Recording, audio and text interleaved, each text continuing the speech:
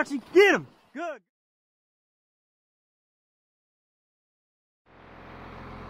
We made it, Roxy! What'd you find, honey? Oh, yeah. Yeah, there's a little minnows. They hang out in this little pool right here. Well, we're back at it. Oh, the wife's trying to catch some minnows. Get him, Rox! Get him! Launching the beast. Gonna go collect rocks. Roxy's loving it. Roxy, you look like a beaver. nice. Looking good. Looking really shallow is what it's looking like. But that's money.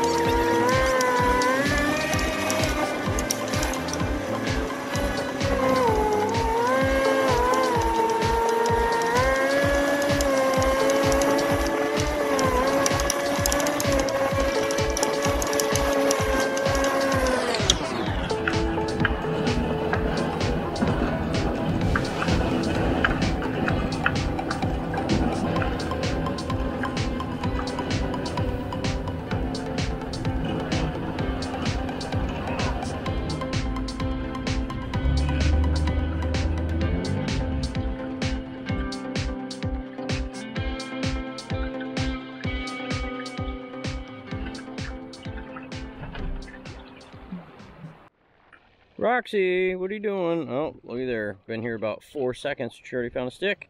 Good job. Well, we found a little gravel bar. Uh, yeah, we're just gonna chill out, find some cool rocks. Um, this is just gonna be kind of a weird little compilation video of uh, jet boating. I hope you guys like the view from the nose of the boat. Might, uh, well, I don't have any other sticky mounts with me actually, but it's just gonna be a drone video and nose boat video. And I might throw this on my chest actually and get some stuff. Go get it, Rox! Go get it! Oh yeah. Pretty sweet. Hot day. oh, Roxy. Hi, honey. Was that fun? Oh, look at there. She's already finding rocks. Got to get her bucket out.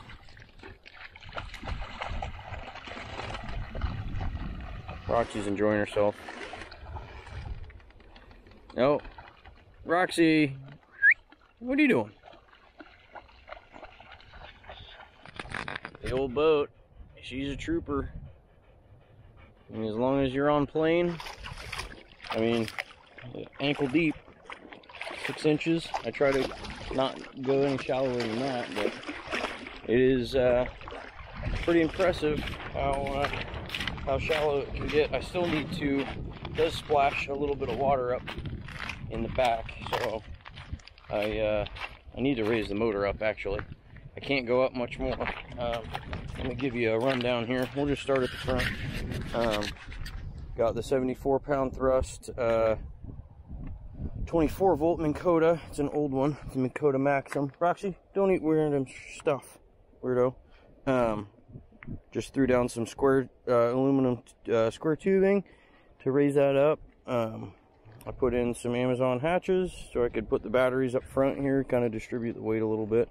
Um, I just stand down here, so it's a mess right now. I got stuff everywhere. Um, the Millennium Marine seats are freaking awesome. I have them on swivel bases that clamp on. Uh, I have two of them. I took one off, but um, uh, with two of them on there, it gets kind of crowded. I don't know. Might uh, rework that somehow.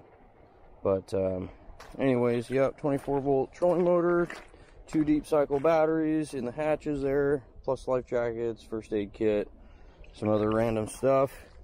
Uh, Millennium Marine seats, uh, aluminum signs for a floor with um, Amazon EVA foam, sticky foam. In hindsight, I should have bit the bullet and spent the money and got the fancier um, hydro turf, but this has been on here. Oh, this will be the second summer, so I mean it's held up pretty well. Where the seats were mounted, because I usually have one seat on each side of this middle bench. Um, the bolts from that clamp-on swivel base kind of messed it up, but other than that, it's pretty good. I mean, I've uh, simple greened it and scrubbed it a couple times, but um, yeah, aluminum sign floor with uh, riv nuts uh, uh, clamped into the ribs and then it's bolted down so I can pull it out if I need to, which I might do that. Toward here towards the end of the summer before we get into duck season, I might pull the floor out and give it a good cleaning, pressure wash it, put it back down. I need to cover up these two sides.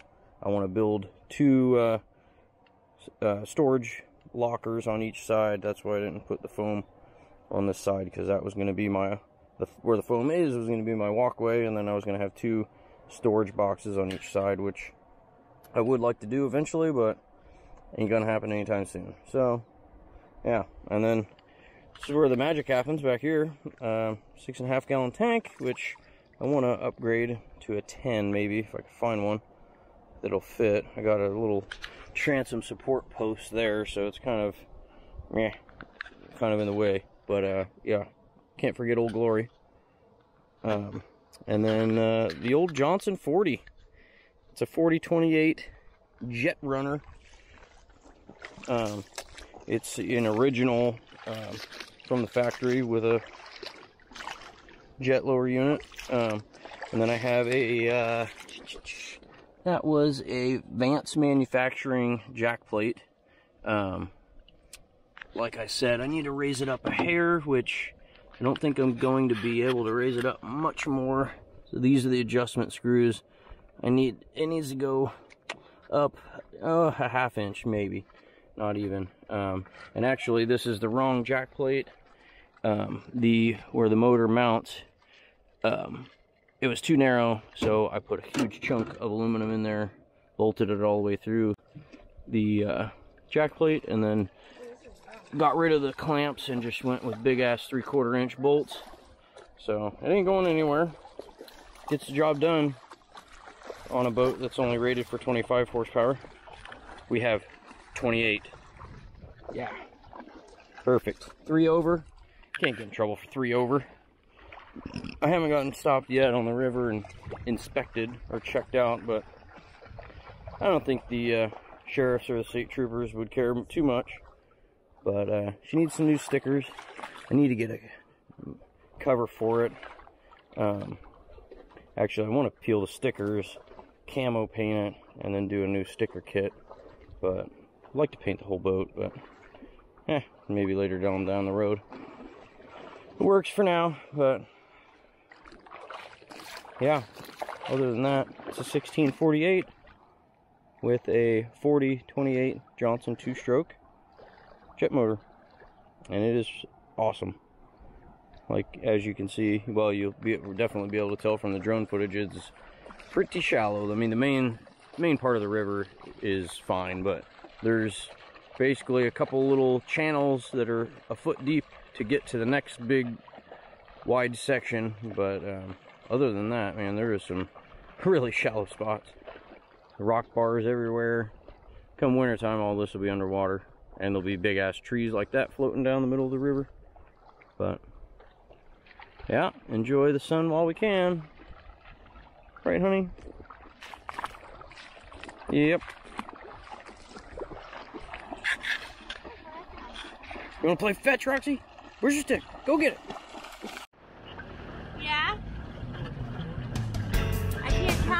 How do